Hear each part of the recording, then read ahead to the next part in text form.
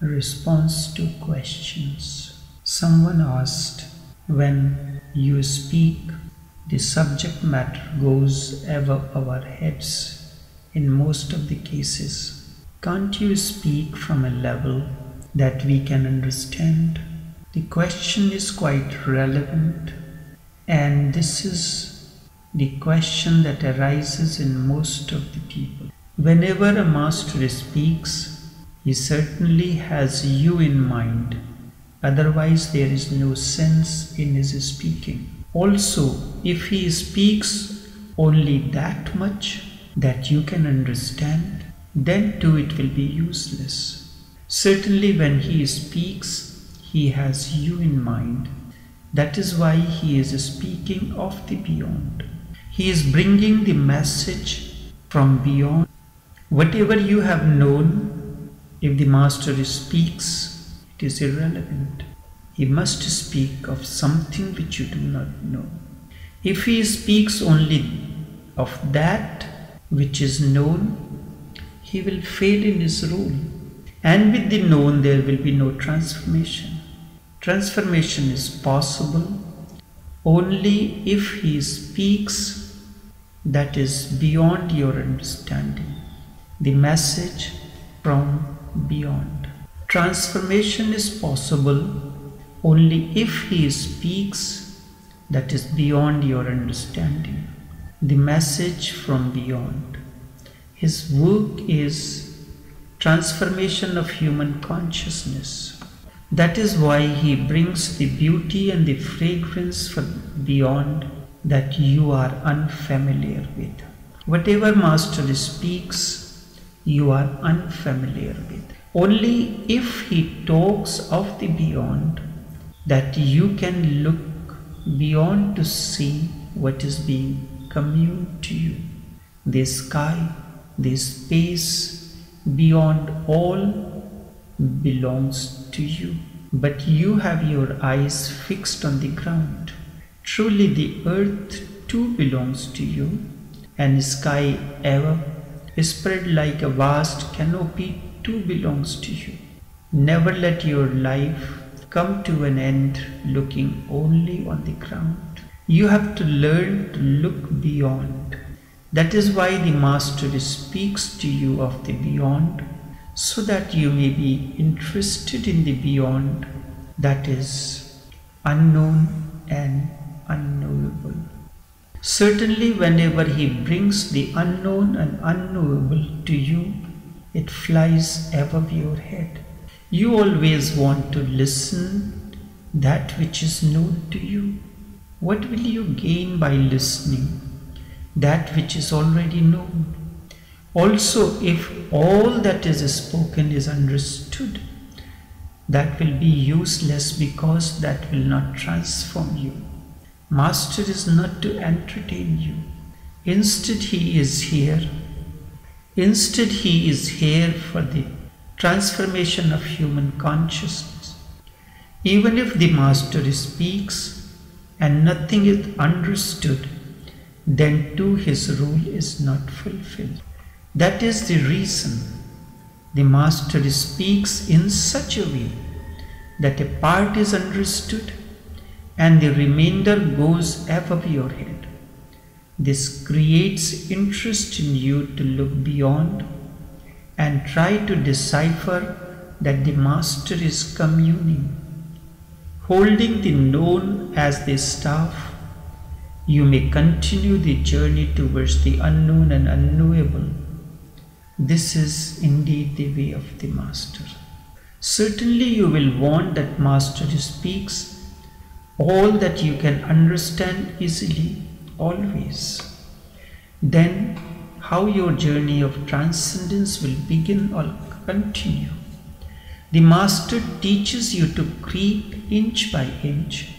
That is why the Master has to be careful that he may not continue at a speed that you are left far behind.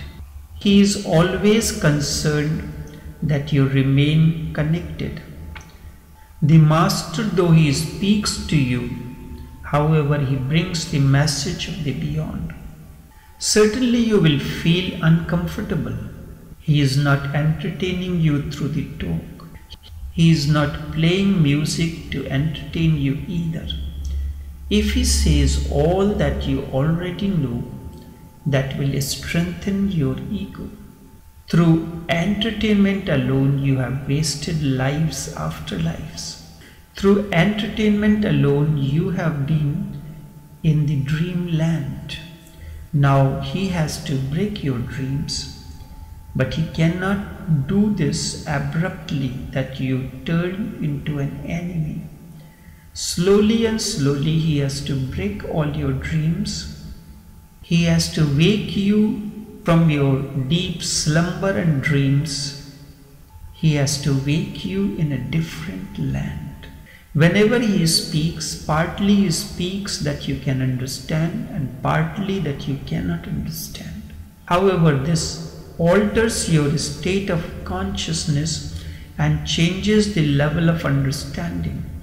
Then slowly and slowly, one day you will be able to understand all that he has spoken earlier. This process continues, and when he finds the message is going far beyond your understanding, then suddenly he brings laughter through a joke or so. He may introduce Mullah Nasruddin to say all that was impossible to say otherwise or he may bring a Sufi parable or Zen koan or a story. You were suddenly going too much into the mind. Suddenly he changes the gear and brings something light so that you are brought outside the mind realm to the valley of consciousness. And then suddenly he takes you to the peak. You are caught outside the mind, and in that gap, He does the work. He knows all that is beneficial for you, but not pleasing to you. You have developed the habit of poison and bad habits. Very meticulously, He has to manage you so that you can be pushed towards the sky. He is not against earth. The earth or the lower is also part of the sky or the higher. Both lower and the higher are part of one harmony.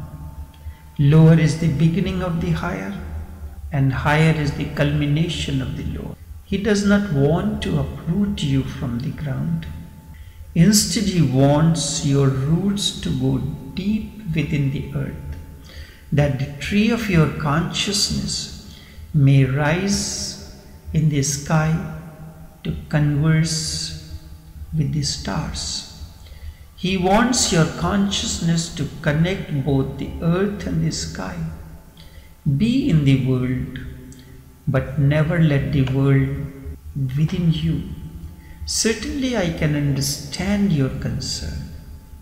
Slowly and slowly, you have to take interest and move towards this new horizon of the inner that he is pointing out. All that you find is going above your head or beyond your comprehension will certainly one day starts flowing within you. A child goes to a school and enters standard one. We do not talk to him of the university. We talk to him only that is relevant to his class. And as he is nearing the completion of the standard one and ready to enter the next standard, he is introduced to the next standard. This he may not understand. Very faintly he understands this, but it is necessary to talk to him of the upcoming standard. Otherwise, he will have to return to standard one again. Those who start taking slight interest in the upcoming standard, they alone will enter in the next class.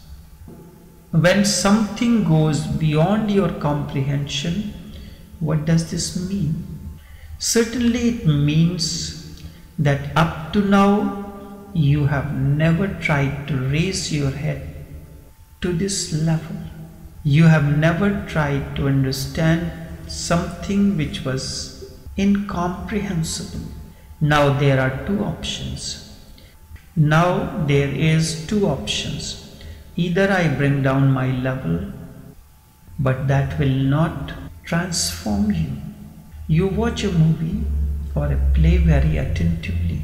Three hours after you forget everything. Now there are two options. Either I bring down my level so that everything is comprehensible to you, or maintain the level that it may not even reach your head. But in both cases, that will not transform you. You watch a movie or a play very attentively. Three hours after, you forget everything. You watch the films, but none can lift your consciousness. You want to see and hear all that echoes with you. You do not want anything that may change your level of thinking. Look at the theme of all your movies. These simply entertain you and ignite all that is within you. I have heard. Once Mullah Nasruddin went to see a movie. A scene comes when the lead heroine is standing near a pond ready to take a dive. She begins to undress herself.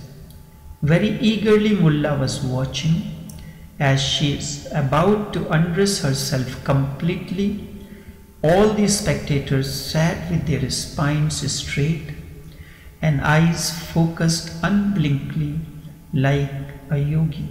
The entire movie hall looked like the yoga class. The spectators sitting still with backs straight, holding breath. Same time a train passes whistling between the spectators and her. The train blocked the vision. Tired and weary, everyone, including Mullah, relaxed in his seat. But he remained sitting in his seat. This show finished. Everyone had gone, but Mullah bought the ticket for the next show and fixed himself on the seat again. The movie began. The scene came. Mullah became even more attentive. Again, as the heroine was about to undress, the train passed and blocked the view. The movie finished. Mullah bought the ticket for the next show. When he was entering the theatre this time, the gatekeeper inquired from Mullah if he was coming to see the movie again. Very aptly, Mullah replied, Yes, indeed, I am coming to see the movie again. The gatekeeper again inquired, But why? Mullah replied very coolly, Indian trains do not run always in time. I hope this time the train runs late. I hope this time the train runs late. In the scene after the train passes, the heroine is already swimming in the pond and only her head is visible. The movie the scene and the songs all vanish from your heart and memory. People read scriptures, the Ramayana, the Mahabharata, the Holy Bible, etc. All these are like old movies. Try to understand the mathematics of these movies and the so called scriptures. Just the old triangle one lover and two beloveds. Everywhere there is love triangle Two lovers are fighting over one beloved. Just love triangle is the style and theme of all the scriptures. For centuries, people have been rejoicing the love triangles of Ram, Sita, and Ravan as holy scripture. Every year for 10 days, the same portrayal continues at different places. The Bhagavad Gita also interests people somewhat. There is fight, violence and sensation. The entire Mahabharata is sensational fratricidal war based on jealousy, hatred, greed, and finally war. This is part of your life. This interests you. When the war breaks between two countries, everywhere there is talk of the war. Where there is violence, war, conflict, desire, and sex, you will find the crowd gathered there. Certainly, this will not bring awakening. Your consciousness shall not rise. You will remain the insect crawling on the ground. Thus, I have one option. Either I bring my talk to the level where it may interest you, like your so called movies and TV serials, then I have no interest. That is not my work. All this is the theme of your movies, TV shows, and stage acts. The other option is I continue to explain all that your mind is not able to grasp now. Your head is not so low like the animals. Just stand straight and learn to look upwards. Stop looking downwards. There is no end to your height. You can reach to the heights of the stars. That is your destiny. If the seed could understand, it will not worry. The seed is not so tiny. One day it will become a big tree. Birds will find shelter. Tired and weary travelers will rest and find solace under the tree shade. The seed shall find is unbelievable. So too, right now you are like the seed that is unaware of its potentiality. The entire effort of the Master is to introduce you to the faraway glimpses, make you acquainted with all that is known to you, so that a new aspiration becomes part of you. Those who aspire for the higher certainly attain to the higher one day. If you never aspire to reach the Mount Everest, you cannot reach. Man aspired to reach the moon, and then one day man landed on the moon. No technology is needed for you to aspire. You are born with that potentiality. Al-Hallaj Mansur was crucified. When he was taken to the cross, he burst into laughter. The crowd said, Mansur, this is not the time for laughing. His limbs were being cut, and soon his neck will be cut off, but he was laughing. Mansur replied, All these people never looked towards the sky. Their gaze was always fixed on the ground. At least today, they can look above towards the sky. This is the ultimate. Man has to learn to look upwards and yet remain firm on the ground. Never bother about all that is easily comprehensible for you.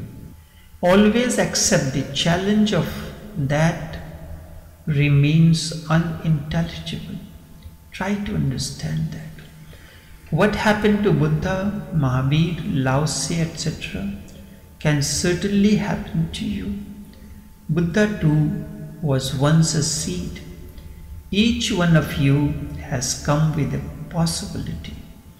The Master keeps on speaking to you of the yonder so that you may hear faraway whispers, and then slowly and slowly, one day you will be pulled towards the unknown and unknowable, and you will be able to be with the mystery. You may remember your nature, your potentiality for this. I go on speaking to you in myriad ways. The message is same. Only it is being said in different ways, sometimes as Buddha, other times as Jesus or Krishna or other masters, so that this clarion call may enter deep within your being. This outer world keeps on changing, it is ephemeral. The house that you consider belonging to you is not really yours. The world is like a vast guest house where you come to rest for a night and then you continue your journey. The night may be longer or short, matters not. Here in the outer realm, Everything is fast changing. Certainly, you will resist when someone tries to wake you from your deep slumber. The path is not full of flowers alone. Instead, there are thorns as well. Such a small thing that you do not want to understand. Not that you do not have the capacity to understand. You are afraid. If you have really understood, then you will have to leave all this to move to another journey. You have to take interest in what I am speaking. Instead, you seek that which appeals to you. It is like this you have many tasty sweets decorated in your living room, and the food inspector visits you. Certainly, he will not be interested in those lovely sweets. His vision will remain focused on flies and mosquitoes around. He will look if the sweets are covered properly or not. His interest differs. So too, if the botanist enters the rose garden where the season of spring is around, all around beautiful flowers are blossomed. The garden is full of beauty and the fragrance of the flowers in myriad hues. All this beauty hue and fragrance will not interest the botanist. Certainly, he will look at the variety, names, and the breeds of the plants in the garden. Everyone has his own interest. A cobbler never looks at the beautiful face because his vision is focused on your shoes. He is a master of shoes. Through the condition of shoes, he can speak of your status. So too the tailor only looks at your clothes. From your apparel and their style he can speak about you. The people have no interest in listening to the master. A Sikh listens only if the master speaks on Gurbani and that too if this fits in his tradition. So too the Hindu listens to strengthen his Hindu mind. People from different traditions tell me why I speak on other traditions as well. Just specialize in one and that will bring large listenership. Such people have no interest in transformation. One who does not respect the point of view of the other or the religion has no right to be called religious. I say it categorically. Such a person is animal in human garb. One who cannot envision one's own reflection in the other has no right to get the taste of love. Also, one who cannot envision such oneness permeating through the entire cosmos is not alive indeed. He will be denied harmony's peaceful and blissful existence. The revolution is not their interest. You will see such crowd around if you have eyes to see. Some like the style of speaking, but not what is being communed. When you listen to the Master deeply, then something will arise deep within. There will arise light within. When the light arises, first there will be heat and light will arise later. Really, the light has two dimensions. One is burning and the other is enlightening.